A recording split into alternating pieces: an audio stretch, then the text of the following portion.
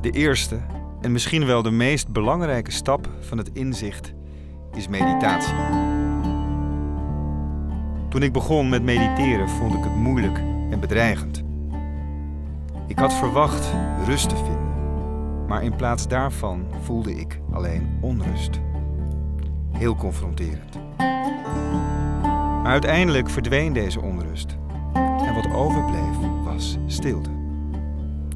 Gevoel van innerlijke rust. Of je zou het ook vrede kunnen noemen. Je kunt de stilte niet met je verstand grijpen. Het is alleen te ervaren als het verstand zwijgt.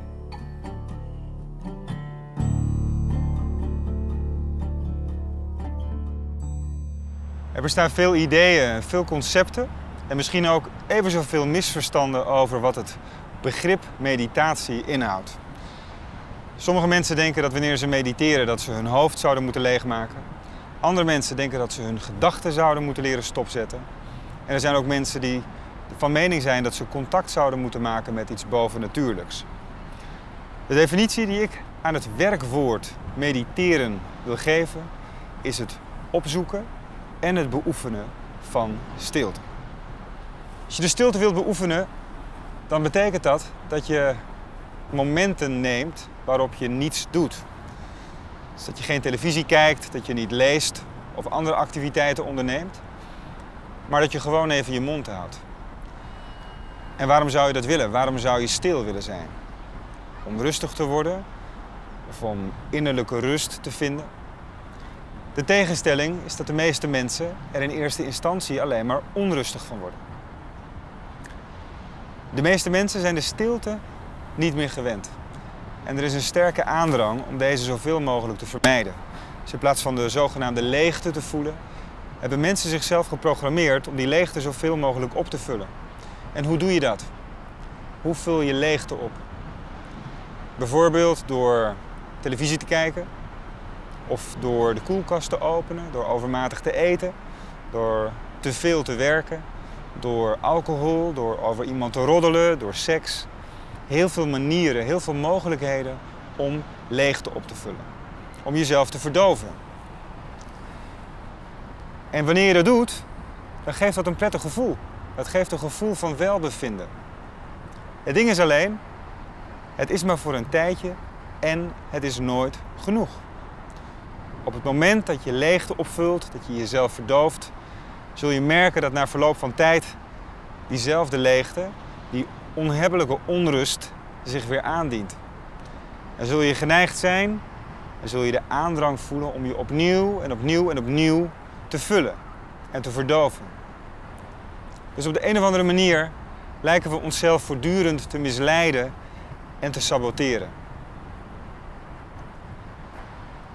De stilte lijkt een moeilijk concept, maar ik garandeer je dat het minder moeilijk is om stil te zijn dan de hele dag door gevangen te zitten in je eigen hoofd.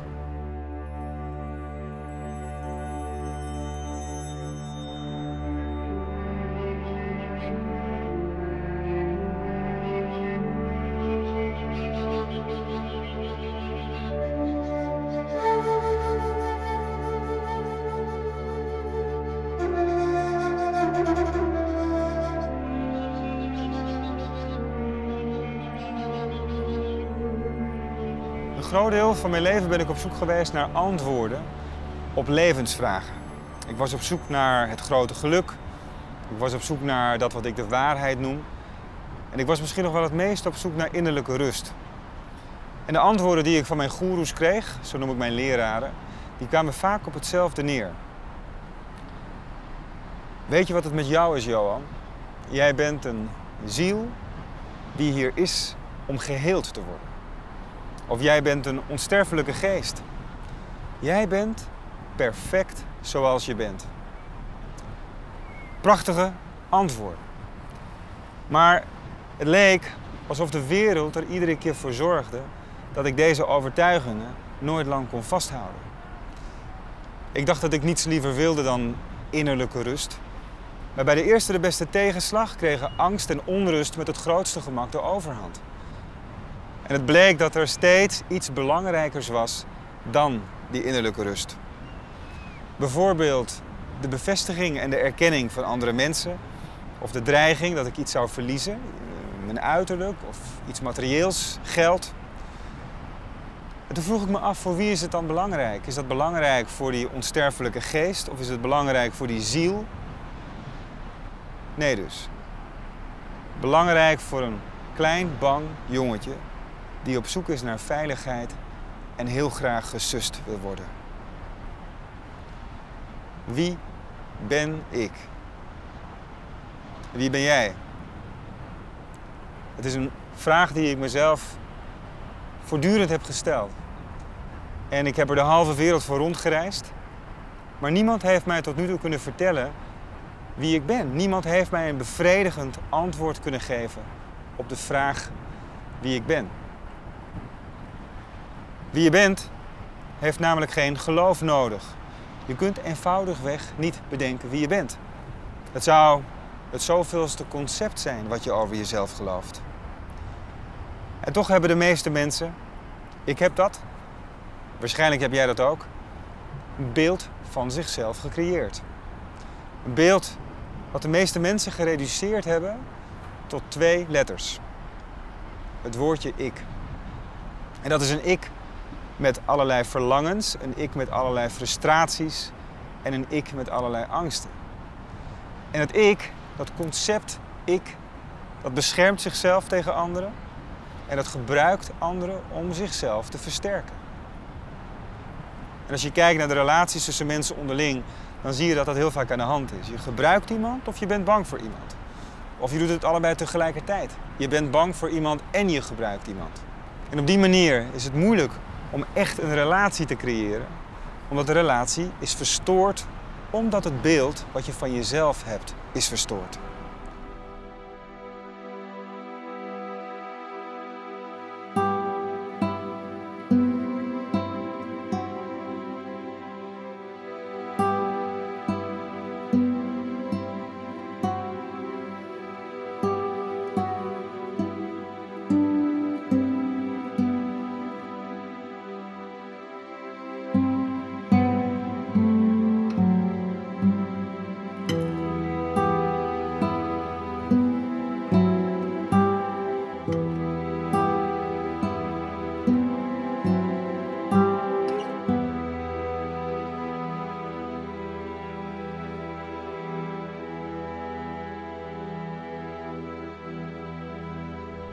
Je zou kunnen concluderen dat heel veel mensen gevangen lijken te zitten in hun eigen hoofd.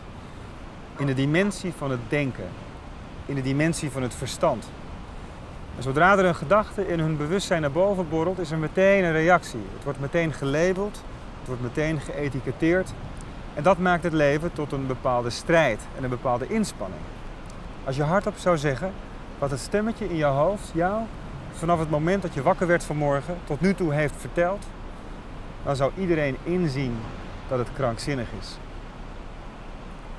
En soms is er even geen gedachte. Als ik aan mensen vraag wanneer dat is, in welke situatie dat is, dan antwoorden ze vaak in de natuur. Hier op het strand, op een plek waar je in de natuur bent. Dat zijn vaak momenten waarop er even geen gedachte is. En die momenten worden heel vaak ervaren als een geluksmoment. Ik voel me goed, zeggen mensen. Ik voelde me heel even gelukkig. En op het moment dat je dat je realiseert, op het moment dat je je realiseert dat je niets denkt en dat je je gelukkig voelt, is er vervolgens meteen een volgende gedachte. Bijvoorbeeld, ik heb belangrijke problemen waar ik over moet nadenken. En het feit dat wij onszelf voortdurend met dit soort gedachten identificeren en vereenzelvigen, maakt het leven tot een strijd en een inspanning. Ik had een definitie, ik had een idee, ik had een gedachte over wat het betekent om succesvol te zijn. Succesvol zijn, in mijn beleving, was dat je op zondagmorgen thuis kwam met je vrouw en je kinderen, bij je ouders thuis. Dat je ging koffie drinken, Dat je ging wandelen, dat je kippensoep ging eten en vervolgens in een grote auto, liefst nog met een hond, met een golden retriever, terugkeren naar een of andere vrijstaande villa. En als je dat had, als je dat had gecreëerd, dan was je succesvol. Dan deed je ertoe. Dan had je het gemaakt in het leven. De waarheid is dat ik er op jonge leeftijd achter kwam dat ik homoseksueel ben. Dus die vrouw, dat was al een probleem. Kinderen min of meer ook. Op dit moment heb ik geen relatie. En als ik thuis kom bij mijn ouders, kom ik alleen. Dus je zou kunnen zeggen dat mijn verhaal mislukt is. Een ongelooflijk, niet succesvol verhaal. Dus dat wat ik over mezelf denk, de gedachten die ik over mezelf heb, bepalen dus voor een heel groot deel mijn zelfbeeld. In iedere gedachte, als jij je niet bewust bent van de gedachte als een gedachte, zit een zelfbeeld. Dus in iedere gedachte, als je je niet bewust bent van de gedachte als een gedachte, zit een zelfbeeld. Ik ben niet goed genoeg. Ik ben het niet waard. Niemand houdt van me. Ik kan het niet alleen. Ik doe het misschien nu wel goed, maar dat moet ik vasthouden, anders val ik door de mand. Of ik weet wel wat ik wil. Ik weet wel wat ik met mijn leven wil, maar dat kan ik niet. Want dan stel ik iemand teleur, dan kwets ik iemand anders. Of ik kan alleen gelukkig zijn als ik een relatie heb. Ik kan alleen gelukkig zijn als ik die baan heb. Ik kan alleen gelukkig zijn als ik gezond ben. Dit is wat zo'n 2500 jaar geleden door de Boeddha het fictieve zelf werd genoemd.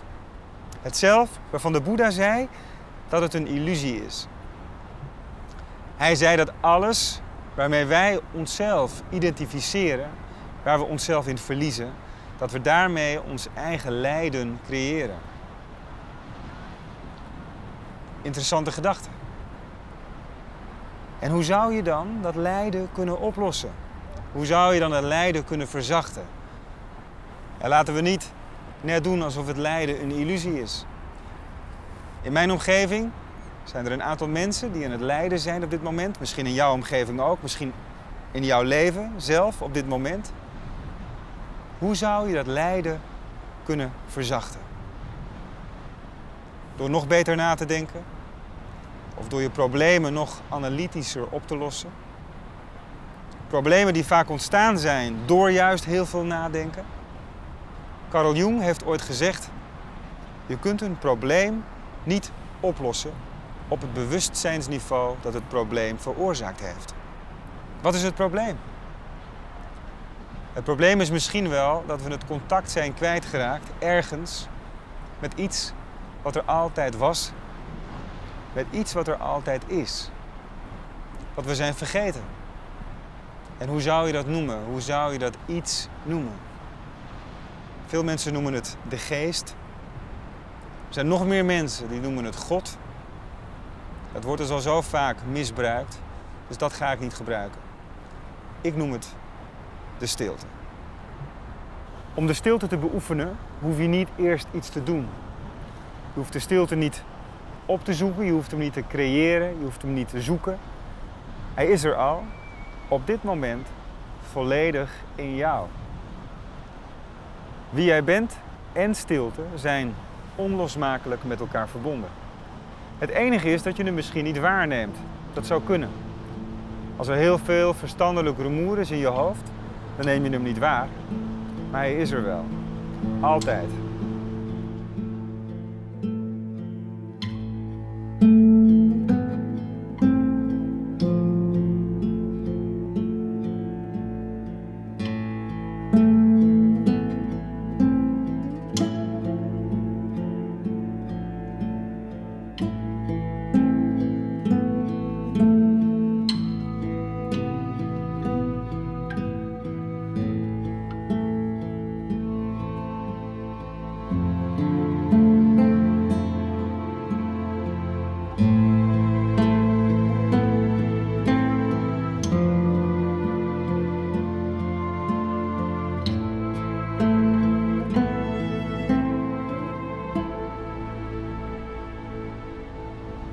Zijn heel veel verschillende manieren om de stilte te beoefenen. Meditatietechnieken. Manieren om te mediteren. Om de stilte op te zoeken en de stilte te beoefenen. En ze gebruiken allemaal het bewustzijn om de weg naar binnen te bewandelen.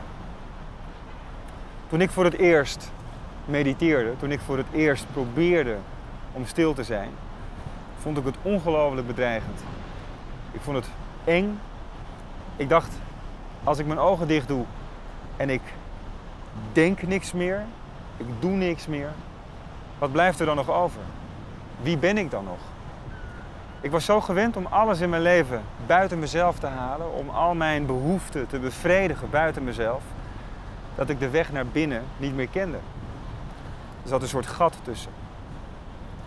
Tot het leven je af en toe dwingt, als je met je rug tegen de muur staat, om een stap naar voren te zetten en in het gat te stappen. En toen realiseerde ik mij, toen kwam ik erachter dat er geen gat is. Er is geen leegte.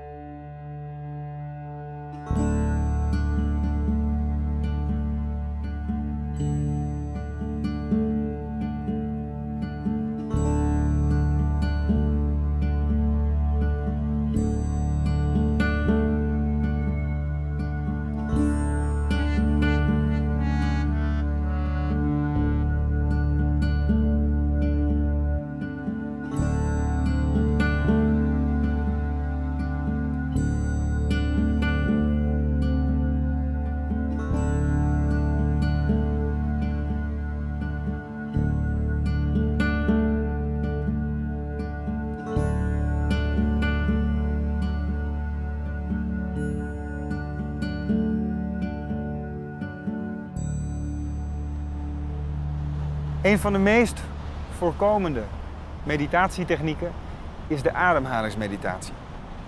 De ademhalingsmeditatie is zo veel voorkomend om de simpele reden dat je adem er altijd is.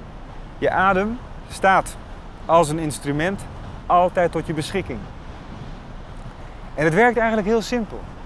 Op het moment dat je bewust ademt, op het moment dat je je bewust bent van je inademing en van een uitademing, kun je niet denken. En op het moment dat je denkt, kun je niet bewust ademen. Dus het is of het een of het ander. Ik wil jou zo meteen graag voorstellen om een oefening te doen. Om je ogen dicht te doen en dan je adem te observeren. Om zo de stilte op te zoeken. En ik wil je waarschuwen dat het geen interessante oefening wordt.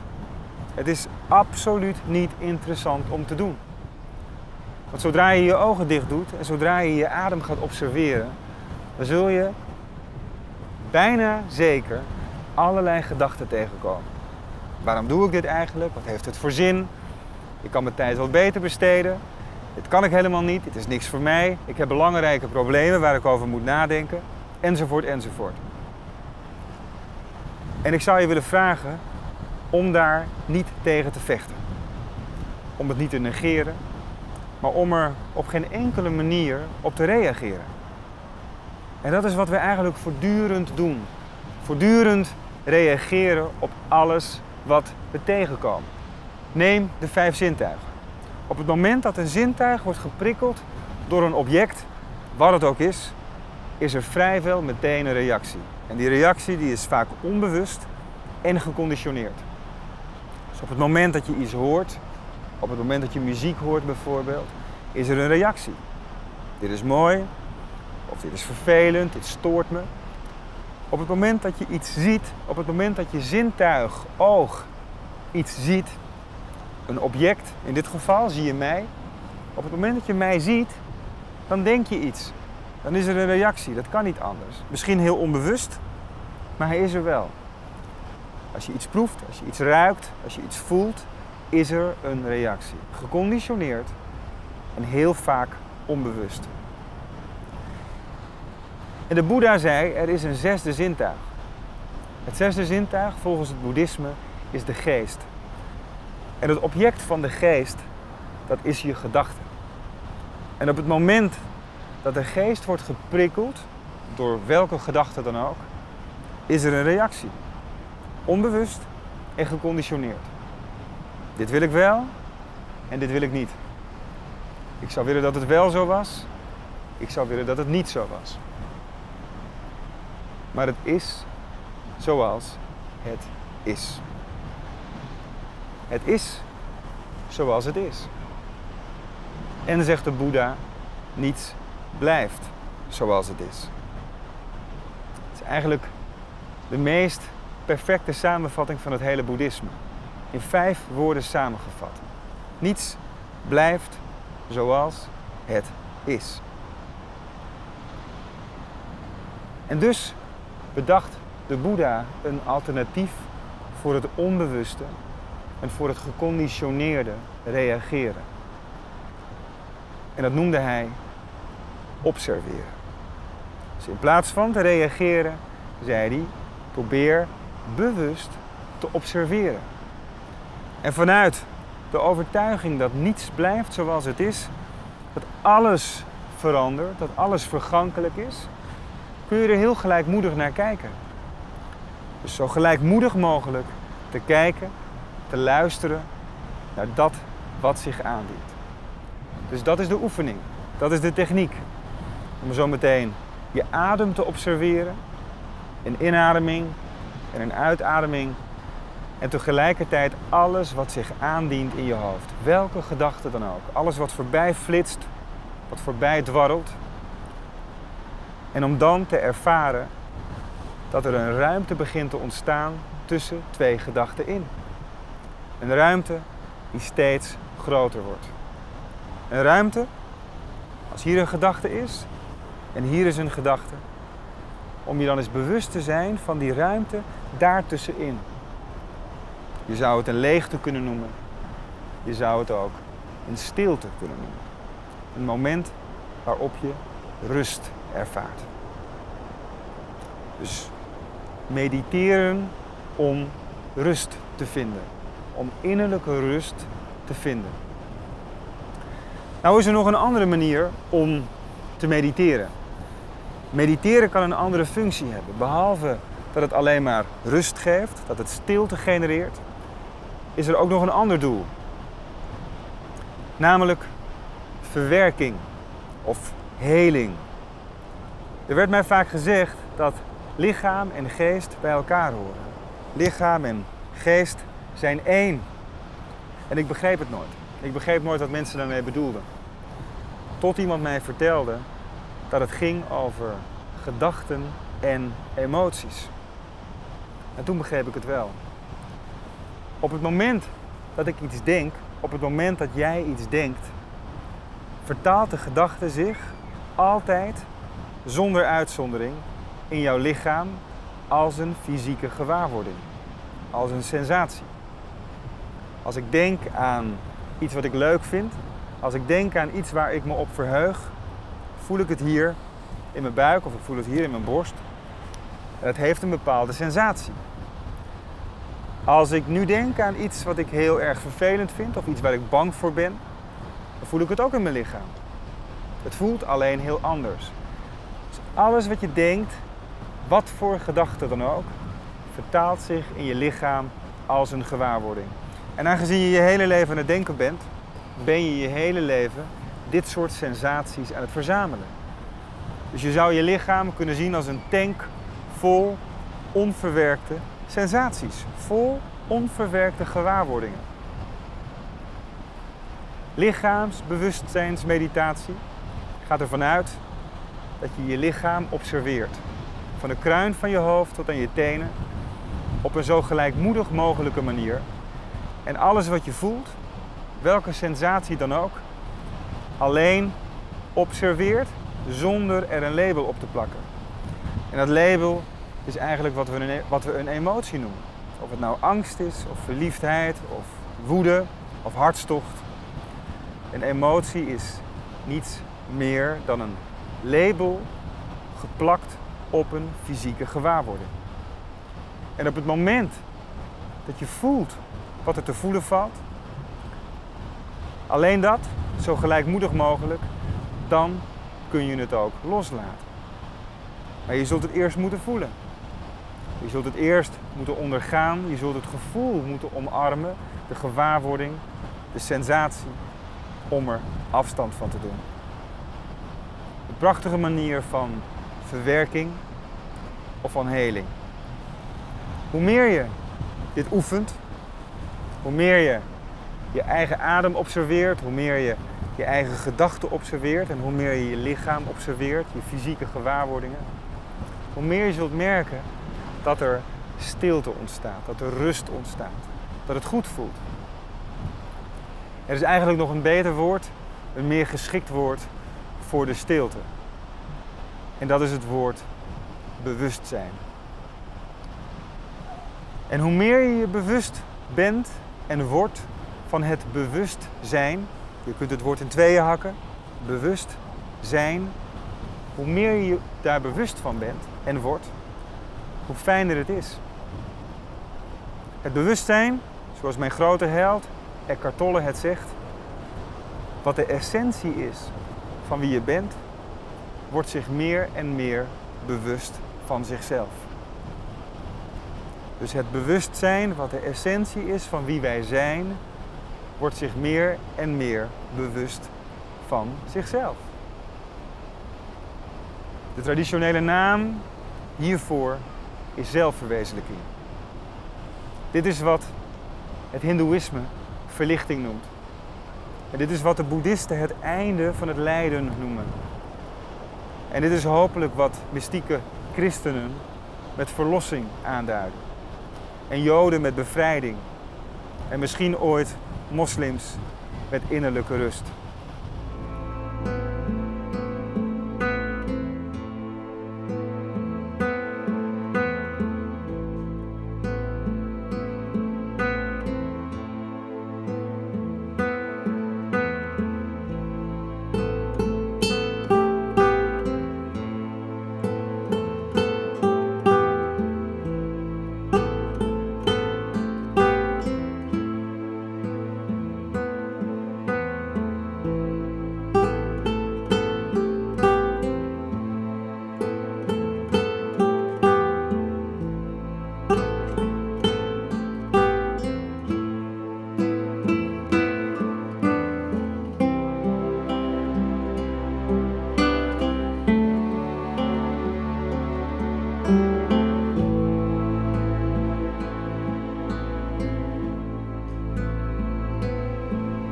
Moment dat jij je bewust bent, en ik ben dat ook, daarin zijn we eigenlijk hetzelfde. Als ik mijn gedachten gebruik en jij gebruikt je gedachten ook, dan zijn er ontelbaar veel verschillen te bedenken tussen ons.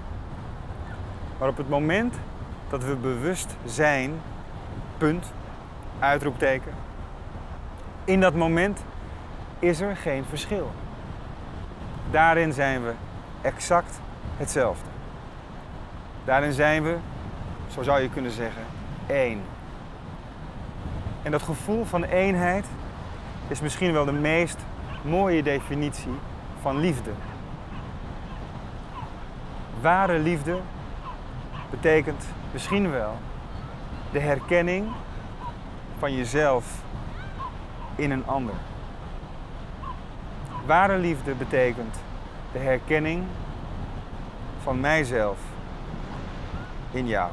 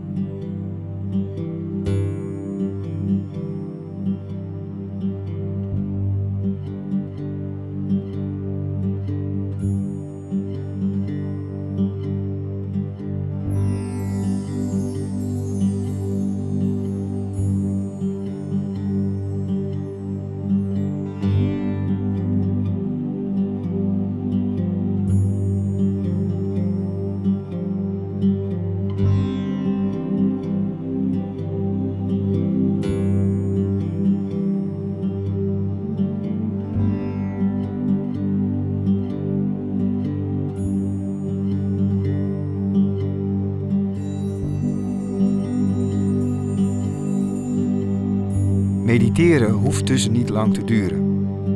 Sluit gewoon een paar keer per dag je ogen en zoek contact met die innerlijke stilte.